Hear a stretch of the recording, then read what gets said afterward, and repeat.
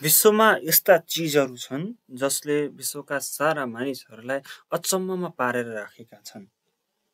सात संयोग नामक उत्सव कार्यक्रममा विश्वका एक सय सत्तरी देशका एक सय एक अर्ब साठी करोड टेलिभिजनका दर्शकहरूमध्ये आश्चर्य छनौट गर्ने दस करोड मतदाताको फाइनल छनौटका आधारमा सात आश्चर्यहरू छानेर राखिएको छ।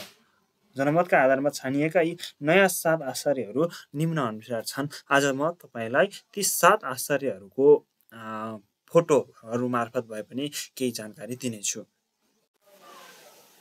पहिलोमा रहेको छ ग्रेट वाल अफ चाइना यो चिनमा रहेको छ। यसै गरी दोस्रोमा रहेको छ रोम रङ्गशाला इटाली। इटालीमा रहेको रोम रङ्गशाला दोस्रो आश्चर्यमा पर्छ भने तेस्रोमा रहेको छ पेट्राको गुलाबी अवशेष जोर्डन।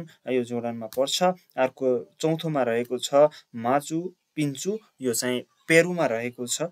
यसै गरी पाँचौँ नम्बरमा रहेको छ मायान सहर जुन चाहिँ मेक्सिकोमा रहेको छ र छैठौँ नम्बरमा छ भारतमा रहेको ताजमहल र सातौँ नम्बरमा रहेको छ ब्राजिलमा रहेको क्राइस्ट सालिक